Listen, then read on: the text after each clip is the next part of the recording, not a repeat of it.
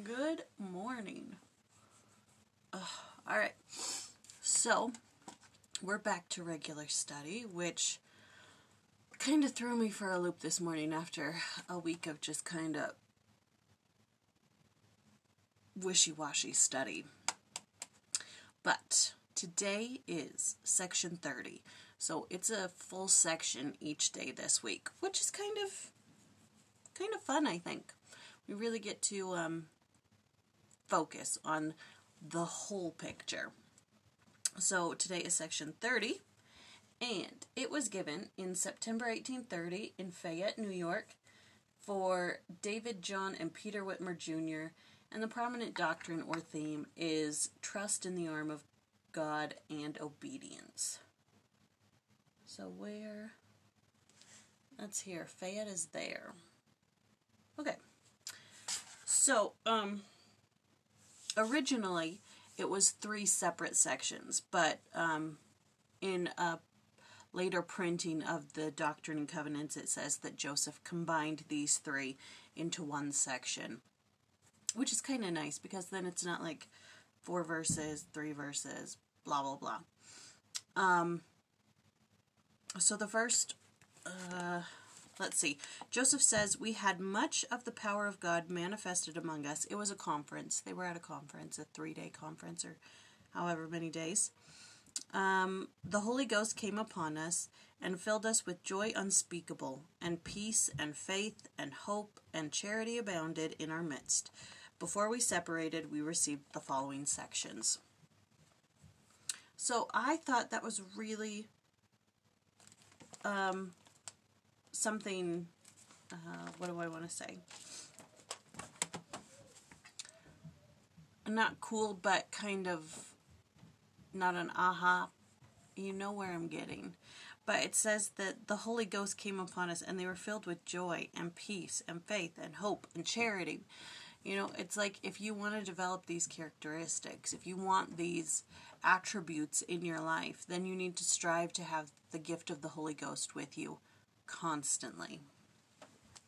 So, uh, in the reading last night, uh, the the section given to David Whitmer, I think, yes, I erased David, I scratched it out, and I put Haley, and um, it's one of those counsels that I think everybody can relate to, and I'm gonna I'm just gonna read a, a one through three. I'm just gonna read it. Behold, I say unto you, Haley, that you have feared man and have not relied on me for strength as you ought. But your mind has been on the things of the earth more than on the things of me, your Maker, and the ministry whereunto you have been called. And you have not given heed unto my spirit, and to those who were set over you, but have been persuaded by those whom I have not commanded. Therefore you are left to inquire for yourself at my hand, and ponder upon the things which you have received. It's no joke that I'm not the biggest fan of being young women's secretary. Okay? I struggled with it a whole lot at the very beginning. A whole lot. But as I've prayed to love the girls and to love my calling, it's it's become a little bit easier. But this spoke to me quite a bit because of that. Um but let's see. Um the other sections just it's um, talking about obedience and basically a mission call and a mission call. Um, it says individual instruction is given to the three Whitmer brothers, and Oliver Cowdery's mission to the Lamanites is restated. David, David Whitmer is chastened and given the prerequisites for being obedient. Uh, obedience to Jesus Christ includes making covenants and observing the principles of the gospel. Some of the essential conditions given here are applicable to all who want to be obedient, including recognition and reliance upon the only true source of strength, Jesus Christ. And then it gives, I'm itchy. It gives a quote by President Spencer W. Kimball, and he stresses that In preparing ourselves for obedience, there are blessings that come from immersing ourselves in the scriptures. The distance narrows between ourselves and our Heavenly Father. Our spirituality shines brighter. We love more intensely those whom we oh, we love more intensely those whom we should love. It is much easier to follow counsel. The lessons of life are learned more readily and surely.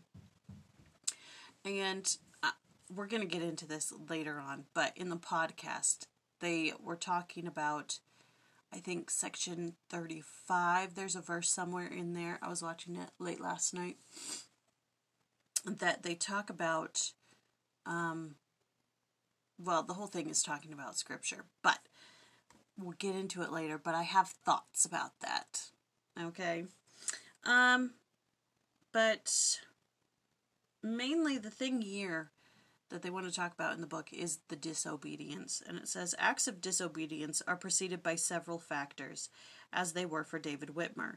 Such factors might include fearing man, being more concerned with the things of the earth than the things of the Lord, and heeding Satan's temptations instead of following the promptings of the Spirit or following God's authorized leaders.